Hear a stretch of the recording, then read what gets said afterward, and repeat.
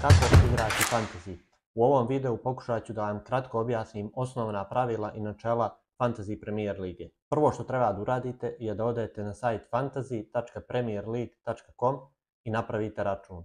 Za to vam je potreban e-mail i password koji vi odaberete. Nakon što napravite račun, pristupate izboru imena. Nakon što ste se registrovali, napravili ime računa, slijedi izbor tima. Prvo što treba da znate je da morate izabrati 15 igrača.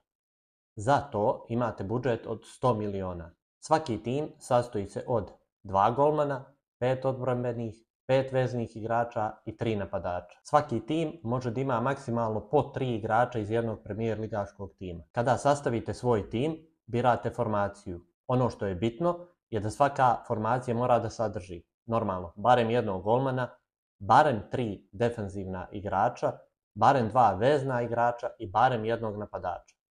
Cilj FPL-a je da igrači koje ste izabrali skupe što više poena u stvarnom životu. Kako Fantasy Premier ligu organizuje i Premier liga, tako i ovdje imamo 38 rundi takmičenja. Fantasy ne nagrađuje samo golove i asistencije, već svaka pozicija donosi određeni broj bodova. O tome možete vidjeti više kroz sajt ili aplikaciju u sekciji pravila, poene dobija samo startnih 11 igrača, što znači da ako jedan igrač ne odigra ni minuta, ulazi vam prvi igrač kojeg imate na klupi. U svakom kolu birate jednog kapitena i jednog vice kapitena, odnosno njegovog zamjenika.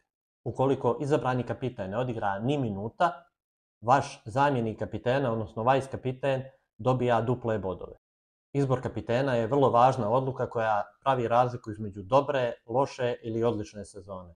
U svakom kolu imate po jedan besplatan transfer. Svaki naredni transfer, to je promjena igrača, košta vas dodatna 4 poena. Transfer možete da prenesete u naredno kolo, ali ni u jednom momentu ne možete da imate više od dva besplatna transfera. Fantasy ima i četiri čipa. Bench Boost, Triple Captain i Free Hit imate samo po jednom u sezoni. Bench Boost znači da poene dobijaju i igrači koji se nalaze na vašoj klupi.